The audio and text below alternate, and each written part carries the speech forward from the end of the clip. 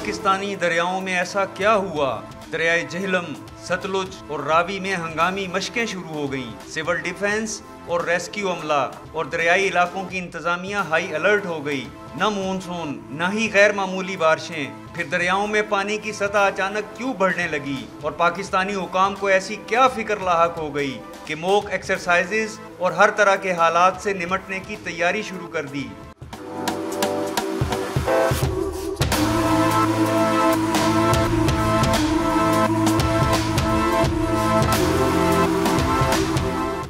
ऐसा कौन सा खतरा मंडला रहा है जिसकी तैयारी की जा रही है? अलिफ न्यूज़ बताएगा कि खतरा क्या है। खतरा है भारतीय दहशत गर्दी का। पाकिस्तान के अजली दुश्मन ने एक बार फिर हमले की मंसूबाबंदी कर ली। लेकिन इस बार वो जमीनी या हवाई हमला नहीं करेगा, बल्कि आपी दहशत गर्दी करेगा। नई दिल्ली के पृथ्वी राज रोड पर मंत्रिमंडल में पाकिस्तान को डबोने का पूरा मंसूबा तैयार कर लिया गया। और इस मंसूबे की सुनगुन पाकिस्तान को भी मिल चुकी है।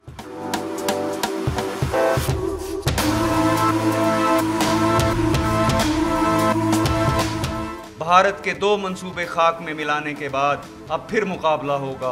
पहला मंसूबा लद्दाख के रास्ते गिलगित पर हमले का था, लेकिन चीन ने लद्दाख में घुसकर बुजदिल भारतीयों को मार भगाया। दूसरा मंसूबा ईरान के रास्ते बलोचिस्तान और दीगर इलाकों में बड़े पैमाने पर दहशत गर्दी का था। ईरान को बहुत ही सख्त अल्फाज में खबरदार कर दिया गया।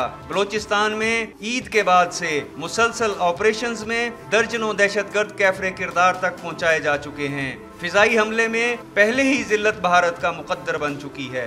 अब भारतीय मंसूबा है आबी दहशत गर्दी का। पाकिस्तान को डबोने का। प्लानिंग के तहत चारों दरियाओं में बेक वक्त पानी छोड़ा जाएगा। मोदी सरकार ने पाकिस्तान को डबोने का नापाक इरादा कर लिया। खा भारत के अपने इलाके ही क्यों ना डूब जाएँ, उसे कोई परवाह नहीं।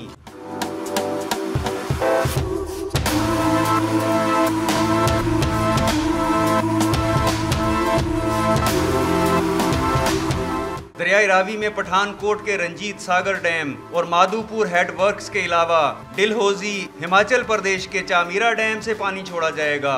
दरियाई जहलम में बारहमूला के उड़ी डैम और बांडीपुरा के वुलर बैराज से दरियाई सतलुज में बिलासपुर, हिमाचल प्रदेश के भाखड़ा डैम और नाथपा झाकड़ी डैम से, जबकि दरियाई ब्यास में हिमाचल प्रदेश ही के पोंग डैम और पांडू डैम से तूफानी रेले छोड़े जाएँगे। इसी दहशत गर्दी का सामना करने के लिए पाकिस्तान ने तैयारी शुरू कर दी। अब भी भारत को मुँह की खाना पड़ेगी।